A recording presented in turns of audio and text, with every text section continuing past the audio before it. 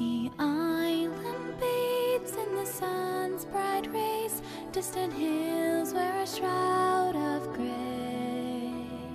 A lonely breeze whispers in the trees, so witness to history. Fleeting memories rise from the shadows